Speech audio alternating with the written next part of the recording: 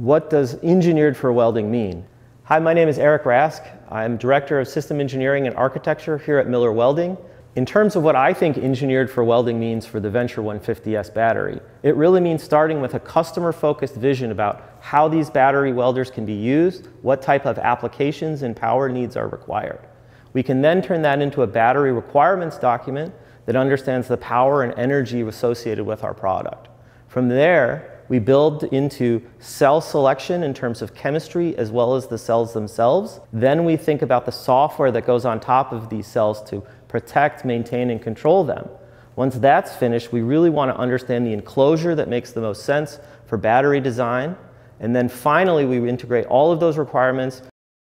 Welding is very unique in the sense that it's very high power, but it's a very sustained amount of high power.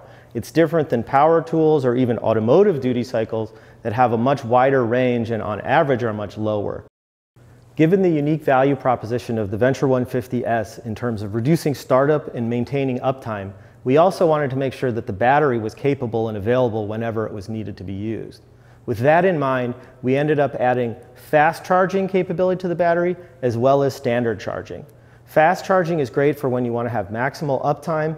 It can charge the battery from 0 to 95% state of charge in about 30 minutes or less. Similarly, standard charging can charge from about 0% to 95% state of charge in under 60 minutes.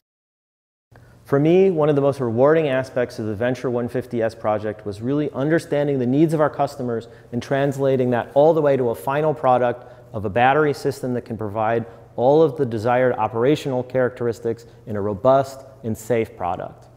Again, Engineered for welding in this case means more uptime and less downtime. For more information, please go to millerwelds.com.